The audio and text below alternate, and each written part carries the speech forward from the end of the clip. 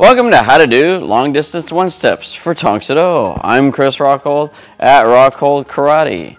Today I'm going to do a mechanical walkthrough of long distance one step sparring.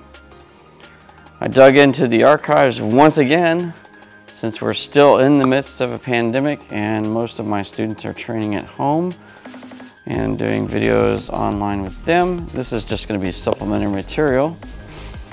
This is going to be a series of 10 videos. So highlighting each one step. I'm going to do one side and then the other side. That way you'll be more balanced.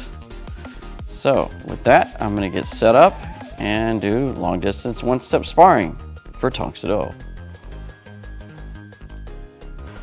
Long distance one step, number 10. All right, let's face the other way again. So from here, I'm going to step back into Hugo Dase and Jane Kwan Haramaki, little palm block and back stance. And then shift to Chungo Dase, Tulo Chundan Kong kick, front stance, and middle punch, reverse middle punch. From here, I'm to go up Doria Chagi, and then I'm to skip or hop forward, roundhouse kick again, hop forward, roundhouse kick again, hop forward, roundhouse kick again, put it down, and do a yaporigi chagi. Spin hook, land into tulo chunda kong kick, sana kong kick, in front stance. We'll just say, step back one, two, three, four, and back to chumbi. Chariakini. Once again, the other way. Okay?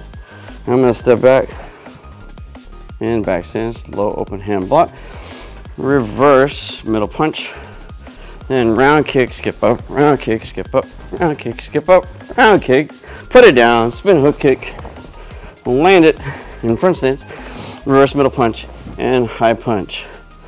Stepping back, one, two, three, and four.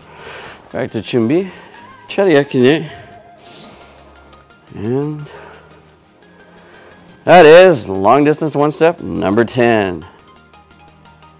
And that is long distance one steps for Tong Do. Be sure to like this video. Don't forget to subscribe. Yeah, hit that button right there. And ring that bell, yep, up in the corner, for new video notifications. Until the next video, keep sharpening your mind, your body, and your character. Take it easy.